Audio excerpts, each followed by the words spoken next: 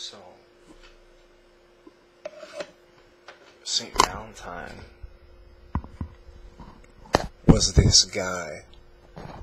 And, um, like back in 200 something AD or something, 230 AD or something. And it was illegal, I think it was in Rome, for people to marry because they were using the men as singles to go to war. It was easier to go to war for single men, apparently. But St. Valentine went on a rogue mission and married people. And then they burned him, or they, they actually, then they arrested him, and uh, the emperor really liked him and tolerated him for a while until the guy said he tried to convert him and failed.